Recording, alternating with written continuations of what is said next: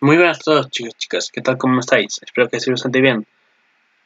Estoy triste porque en directo eh, me dijeron, yo estaba pensando de que esta tercera temporada, la temporada final de Free iba a tener como siempre hemos tenido 24, 25 capítulos, pues me dijeron en directo que iba a tener 13, si no fuera de memoria. Y lo fui a revisar en directo y tiene razón, va a tener 13 capítulos y me quedé en plan de, no mames, ¿en serio? O sea que yo tan feliz diciendo, bueno, nos queda verano largo para Free Basket, no hay problema, nos queda verano largo.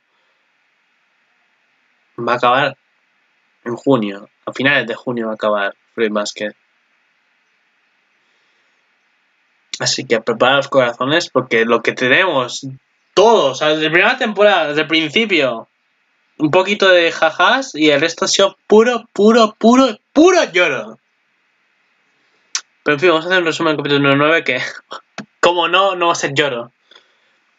Vale, después de que eh, Kyo salía corriendo y Yuki siguiera, Toru se quedó ahí y justo llegó a Kito con el cuchillo. ¿Qué pasa? Empieza a decir que es culpa tuya, tú me lo has arrebatado todo, ah, yo estoy sola, este y tú estás con rodeado, cómo se siente, no sé qué, no sé cuánto, en fin. Toro está impactada, triste y se da cuenta de que Akito está sola, de que tiene miedo de quedarse sola, no quiere quedarse sola. Y pues lo que hace Toru es intentar acercarse a ella, intentar abrazar a Akito, pero no puede porque Akito, uno, primero le raja el brazo, ¡boom! Después otra el brazo, ¡boom! Es que dije, Toru, cuidado, Toru, cuidado, que tiene un cuchillo, cuidado. Me va a rajar, pero Toru insiste, Toru insiste y al final Akito no quiere, no quiere ceder y se desespera y sale corriendo al bosque. Lo cual Toru empieza a seguirlo, a, empieza a seguir a Akito y la detiene a tiempo. Empieza a hablar en un precipicio de no sé qué, no sé cuánto, que ella lo siente, que no quería hacer eso y que empiecen de nuevo y se presenta Toru. Eh, mi nombre es Totu, no sé qué, no sé cuánto, y me gustaría ser tu amiga, así que le da justo la mano. Y Akito aquí en pleno lloro. En pleno lloro quiere. O sea. Que le quiere, ¿no? Ya, de tanto, de tanto desesperación Akito que Toro insistía y que veía que Toro tenía buenas intenciones y no más intenciones con ella. Al final Akito le quiere dar la mano y justo como está en un precipicio Toru, el precipicio se rompe. Miradme en directo porque es que grité, vamos. Está resubido, ¿vale? Y Toru se cae. No sé cuántos metros se cae y se da contra el suelo de cabeza. Lo cual Akito, desesperada, empieza a gritar ayuda, ayuda, ayuda y se empieza a escuchar todo esto. Eh, Yuki, como se había buscado a Kyo, Yuki se encuentra con Shigure, en la cual se había cogido el camino equivocado porque Shigure dice que se había ido a beber y que no había visto a, a Kyo. Kyo se ha ido por otro lado y vemos ahí, como, escuchábamos, o sea, Akito empieza a gritar auxilio, ayuda, socorro.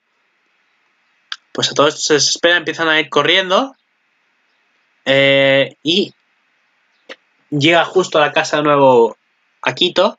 Están ahí Shigure y Yuki. Y empieza a decir que se ha caído. Está muy nerviosa Akito, está muy nerviosa. Está llorando y dice, se ha caído, ¿quién se ha caído? Dice Shigure, Toru se ha caído. Empieza a llorar. Yuki va corriendo, dice, voy a llamar a una ambulancia, tú guíalos y, y nada, yo voy a por ella. Yuki va corriendo, va corriendo, se espera a buscarla. Akito está llorando y Shigure le pregunta, ¿la has empujado tú? Claro, Akito dice que no. Por una vez Akito no tiene culpa de nada. Y pues nada.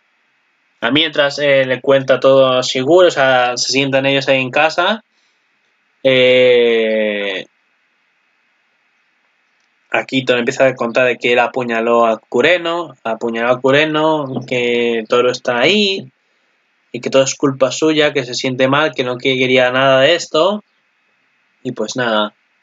Todos, o sea, él, para sí misma, eh, piensa que Toru se quedó por su culpa. Que tan mala suerte, tiene tan mala suerte, tiene tan malas relaciones que todo lo que tiene se quiere cortar su relación, que piensa que ella misma que con Toru quería tener una relación se ha roto y que ella cayó por su culpa. Bueno, Cureno ahí justo llama, llama el doctor, el. Joder, siempre me olvida el nombre del doctorcito, el papucho. Eh, y nada, le dice que. Le, cuenta lo que ha pasado, que si Cureno está bien, que no sé qué, no sé cuándo, dice que está bien. Eh, le cuenta. Le cuenta Cureno, perdón, Cureno Sigure al, al doctorcito le cuenta que Toru había caído por un precipicio, lo cual justo estaba volviendo Kyo por los gritos, se había vuelto. Kyo vuelve a casa y justo se entera de que Toru se ha caído. Lo cual Kyo va corriendo loco también. Yuki ya había encontrado a Toru, eh, le ve ahí, está esperando la ambulancia. Y Kyo va corriendo como y justo la ve ahí, a Toru en el suelo, sangrando va a coger la Kyo diciendo, no, yo no quería esto. Ne, no quité. O sea, desesperado el pobre Kyo. Eh, quiere y dice, Yuki, no la toques, que está sangrando. La coge la cabeza y ve un montón de sangre y dice, yo no quería esto, no quería esto. O sea, como diciendo otra vez, este, Kyo como, otra vez como culpándose que otra vez es su culpa, igual que con que con Kyoko le pasó lo mismo, no quiere que le pase lo mismo con Toro. Y aquí es lo de la mano, lo de que se va a nadar. Uy, que me quedo sin voz. Lo de la mano que se va a nadar, justo ahí, me gustaría que seas mi amiga, y justo. Se cae Toro. Y yo en plan de ¡No! ¡Toro! De verdad, miradlo en directo. grité como un des... No veis cómo grité. Pero bueno, eh, después de todo eso, y de verdad lloré justo en ese momento, estaba llorando puro y duro. Es que, uff, madre mía, eso y lo de esto, montón de cosas. Luego vamos ahí como recuerdo de todo, en plan diciendo ahí lo de que ojalá que no, que no sigan llorando ni, ni Kio, ni Quito, ni nadie. Y yo en plan de, Toro, para, por favor, no te vayas, yo te quiero. Pero bueno, eh, Toru, pues medio como despierta y lo primero que ve es a Kyo cogiéndola. Muy bonito. Se dan un beso y yo en plan de ¡Ah! Fangirl. Literalmente fangirl, ah, es muy bonito el capítulo. Se la llevan a todo el hospital. Luego aquí toda visita a Toru en el hospital. aparece Momiji diciendo que que conservar esas amistades. Las buenas amistades hay que conservarlas siempre. No sé qué, no sé cuánto. Y que le va a contar una historia y no sé qué más. Le pide perdón a, a Toru, le pide perdón a Kureno y ya está acá el capítulo en plan de no manches. Se me pasó volando el capítulo, pero uy, no, le eché para atrás.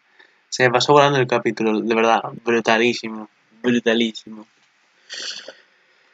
Se mató sin querer, fue brutal el capítulo. De verdad es que no tuvo lloros, gritos, desesperación, un virus de gratis. Eh, amor, beso, romance, lo tuvo de todo el capítulo, de verdad. Lo tuvo todo, lo que es todo. Pues eso, todo. Es que fue simplemente magnífico el capítulo, de verdad es que no tengo más palabras que magnífico. Pues antes de ir a avance, vamos a ver lo que pasa en el capítulo número 10, en el capítulo que se estrena el lunes. Me gusta solo. Mmm, ¿qué te gusta? Desde el día que llevan a Toru al hospital está perdido. Toru, que está hospitalizada, no se presenta y Toru no habla de nada. El día del alta de Toru está empacando su equipaje para salir de la casa. Yuki pregunta, ¿quieres huir? Luego fue golpeado por una fuerte patada cuando respondió que no podía proteger a Toru. Los dos trabajan juntos y chocan con sus emociones ocultas. Uh, ¿quién? ¿Con quién? Cuando se enteraron la noticia de todo lo que le pasó a, Toru, vimos ahí, es que fue brutal, a, todas, a a todos y a todas impactados, que La pobre Rin me dio más pena. Rin, Rin estaba ahí llorando desolada en plan de me cago en todo. Toru. Literalmente, ¿eh? Dios mío, es que fue brutal. Brutal, brutal, brutal, brutal el capítulo, de verdad. Muy fuerte, muy fuerte. Más fuertes emociones. Bueno, aquí Akito, que ya vemos que acá está cambiando poco a poco, lo cual eh, luego Hattori con Shigure lo hablan. Decía, aparte su plan. Dice, de cierta manera sí, pero no. O sea, que poco a poco aquí todo va cambiando y eso está bien. Luego vamos a ver a Kuren en el hospital ahí, mirando por la ventana a quién. Ya veréis a quién. Yuki por el teléfono hablando, algo ha pasado. Yuki sale corriendo o sonrojado. Bueno, como corriendo, pero no a lo loco, sino corriendo en plan de, de sonrojo, de, emocionado. ¿Cachi? Puede ser. La amiga de Toru, bien. Ah, esa amiga de Toru. Cuando se que está cura en el hospital, madre mía, que se va a armar. Eh, Kyo enfurecido. Vale, Kyo enfurecido. Ok. Y Toru sonrojada. Aquí es el hospital Toru. Pero bueno, ¿qué está pasando? Toru está eh, sonrojada, llorando un poco. Bueno, impactada. Toru, ¿qué has visto? Toru, ¿qué has visto? ¿A quién estás mirando? Chan, chan, chan. En serio acabo de cerrar ahora. Es que qué puto asco rotón de verdad que tengo. Ah, Dios, lo tengo rotísimo, ¿verdad? Chan, chan, chan. Vale. Vemos a Kyo hablando con alguien. Se ve un poquito, bueno, un poquito no, bastante desolado a Kyo, la verdad. ¿Con quién están hablando? No lo sabremos. Pero se le ve muy, muy desolado a Kyo, muy, muy tristón. Pues disfruta el avance y ahora comentamos el título.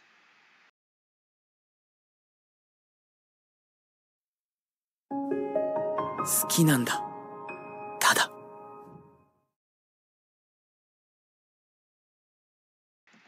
Yo simplemente la amo. Ni quién era la voz, va a ser un poco el volumen que lo he escuchado, no lo he escuchado. Muy bonito, ¿eh? Esas palabras, ¿eh? yo simplemente la amo. ¿Quién ha dicho eso?